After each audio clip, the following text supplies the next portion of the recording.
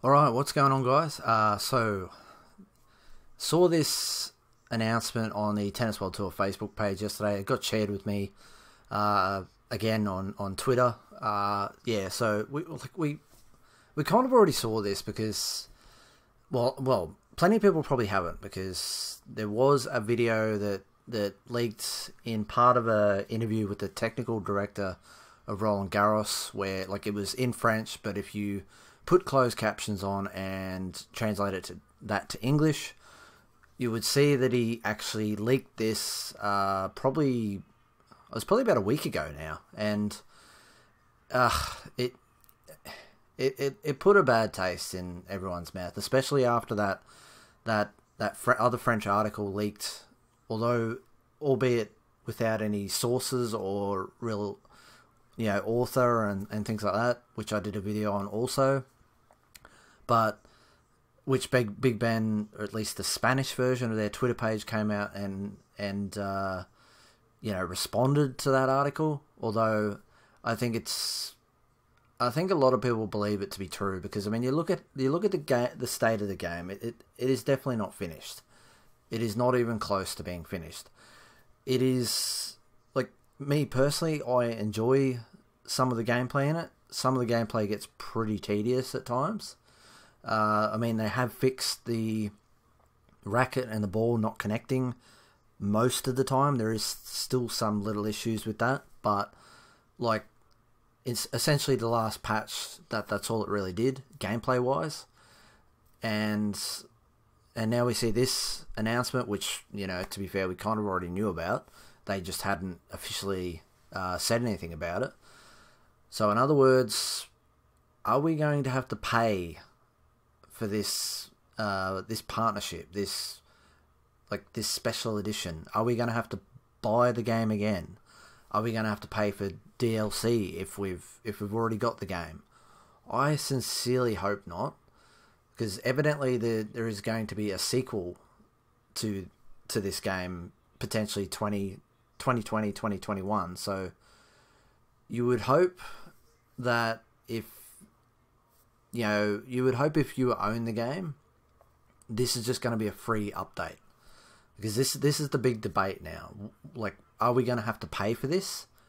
Like, are we going to have to pay for a whole new game, which will essentially be the finished game? You would you would imagine, and or is it going to be paid DLC, or is it going to be free? Personally, I think it needs to be free for for you know everything that everyone's endured so far in owning the game because yeah, some people aren't even able to get refunds now, so they've they've either just got to simply stop playing it altogether, or they've just got to persevere as updates uh, gradually come out.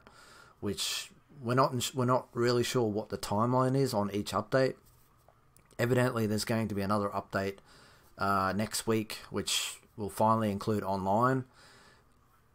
I personally hope there's some actual gameplay tweaks in this patch because like fair enough online play will be different to playing the ai you'll you'll see errors from someone you're playing online as opposed to where you're playing the ai and they're just not making unforced errors. As well as the fact where it feels like some of the shots you're making are not really going where they should where you're aiming them and it's a bit hit and miss uh, pardon the pun as to where where your shots end up. If they just plain and simply just go straight out, or if they they just miss the line, or something like that, or if they go deep.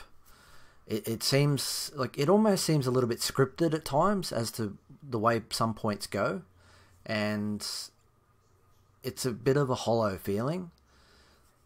So I feel like they really need to do a lot in the next few patches, gameplay wise, in order to get a lot of people back on side. Like I know plenty of people enjoy the game for what it is, but I know plenty of people, including myself, find a lot of little points in the gameplay very tedious at the moment, and it it just it rubs you the wrong way.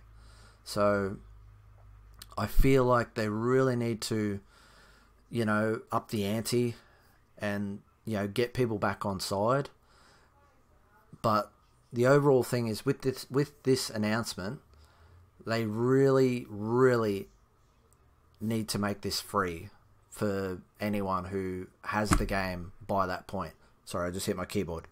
Uh, but yeah, because obviously pl- plenty of people manage to get a refund, and plenty of people are just flat out avoiding buying the game altogether because they just they're just very wary of being you know essentially ripped off. So it's it's really disappointing. It, it is really disappointing, and I have seen someone say that they've seen footage of this apparent Roland Garros version already. Although to be fair, I don't know if they they they're just talking about the esports version, like the esports series, which is what they did in the lead up to the game actually coming out. Which a lot of us were sort of thinking, well, is it is Roland Garros going to be in the in the game or like so like obviously you know it's now clear that we won't see any official courts or anything like that until pretty much May next year which will be the Rock Roland Garros, you know, Grand Slam tournament.